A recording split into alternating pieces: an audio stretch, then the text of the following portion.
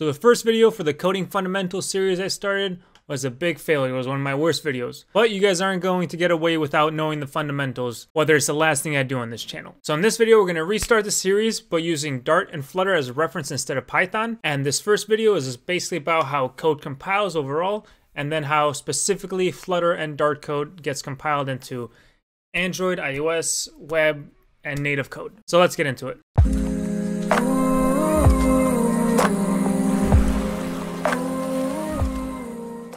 So like I said, in the beginning, I want to start with the very basics of programming pretty much. So this series can cover everybody from beginner all the way to an expert. So before we get into details of how Flutter compiles, let's get into how programming actually works. So we start off from the very beginning with the question, what is programming? Programming is just a sequence of instructions. But how does the computer actually understand those sequence of instructions? So just like humans use language to express each other, computers also have their own language except their language is a lot simpler. It's just either on or off. So these on or off are called binary. They can either be a 0 or a 1. 0 means it's off, 1 means it's on. And using these two states, that's how every pixel gets displayed on your screen. And then I quickly want to go over exactly how a computer works. So a computer has three major parts. It has the CPU, which people call like the brain of the computer, but I don't know if I like that analogy, which I'll explain later. But the CPU basically does the actual computations, the mathematics behind whatever is written in your code. And then the reason I don't like it being called the brain of the computer because there's this thing called RAM, which is like the memory of the computer. I like to refer to it as the short-term memory. And I mean, a brain has a memory as well, so that's that's kind of why I don't really like the whole analogy, but anyways, then we have the storage, which is like the long-term memory. And you need this because the RAM whenever you turn off the power, you need something to be stored while it is off.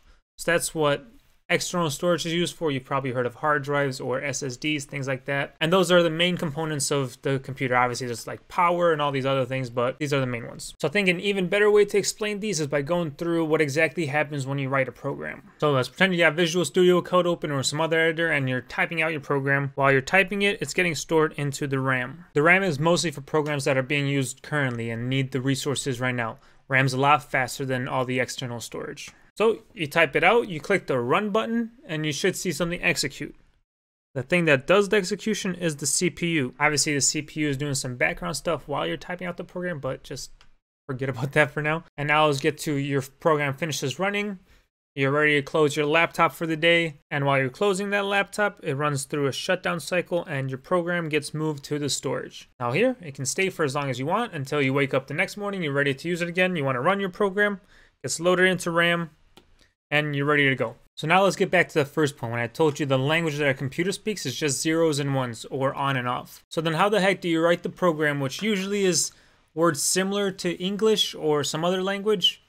And then how does the computer actually run that program? So your program gets sent through this thing called a compiler. Compilers are different based on the language and what platform you want to go to. And there's sometimes more complicated steps, including an assembler and things like that. But we're just gonna stick to the very basics and basically, a compiler takes your English code or whatever language you're using, for us, the Dart code, and transforms it into ones and zeros so that the phone or the laptop or the embedded system can use it. So, all right, enough hypotheticals of how programming works overall. Let's get into the actual Dart language and the Flutter framework and how that works. So, okay, Flutter is just a framework built on the Dart language.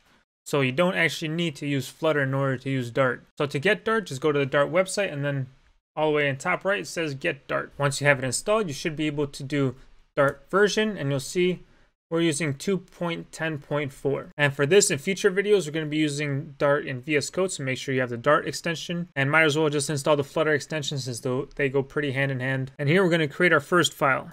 So we'll do a hello world Dart file. You should see the little Dart icon here. So the way Dart works, the entry point for the app is in the main function. A lot of other languages have main functions, but pretty much let's just copy this, we'll paste it in here. If we save it, this is our first Dart code. So this main is a function, and it's the first function that gets called whenever you run the program. The type void means there's nothing being returned from this function. And then print it's just going to print it out onto our terminal screen. And that's probably as simple of a program as you can get. So we can click run up here and you'll see hello world pops out in our terminal. So if you use Flutter, you'll still see the first function is still the main function, but then you have to call this thing called run app, which basically leads to the first widget that it needs to build. But that's a video for a separate time. So in VS Code, when you click this run, it compiles it to the actual code that the computer can understand. The computer runs it, and this print function basically tells it to go to the terminal and print it out here. And then we have a debug mode, which starts a debug session, but then does the same thing. This basically lets you put breakpoints in here if you want. A breakpoint basically stops the code at that spot, just like that. And you see it didn't print anything, but then we can run it again and it prints it out. Then one thing you'll come to find out is Dart actually has a bunch of different compilers. We have the basic compiler, we have the Dart2JS, the Dart to native compiler, and each one of these compiles differently depending on what platform you're using. So Dart to JS is web platform, and Dart to native is used for desktop apps, I believe. You might be able to use it for web as well, I'm not sure. But instead of using Dart to native and Dart to JS directly, we can actually just use Dart compile command, and that will compile it to whatever we need. So we can do Dart compile, and let's say we want an exe, and then we want to compile the hello world So run it Give it a second to compile and you'll see we generated a file called hello world.exe. And now we can actually run this file. You'll see pops out hello world. Now before we move any further, I want to go over the question of what is Flutter. You've probably heard the word of Flutter is a framework. So you might be asking what exactly is a framework? A framework, and specifically the Flutter framework, it's literally just Dart code with specific classes that make it easier to use that Dart code. That's especially why I think this series is very important very important to have the fundamentals of programming solid because that's actually what you're pretty much using whenever you use Flutter. If you're able to understand Dart code very well, or I guess any programming language very well, you'll have a much easier time developing Flutter apps. So if you've been working with Flutter, you've probably heard of the Flutter build modes. Now the build modes are used to actually build the Flutter app so that you can put it on your Android, iOS, web, Linux, whatever device you want. Now there's three build modes that Flutter currently supports. It's the debug, the profile, and then the release build mode. And you'll notice these build modes used the Dart compilers to create the actual code so that whatever device actually understands what's going on. So the debug mode lets you use hot reload and basically debug your app, like it says there. The profile mode lets you analyze the performance of the app.